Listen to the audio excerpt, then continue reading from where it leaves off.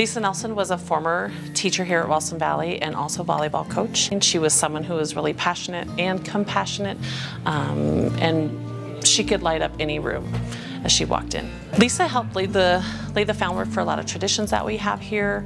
She is someone who brought energy and life and love to this building.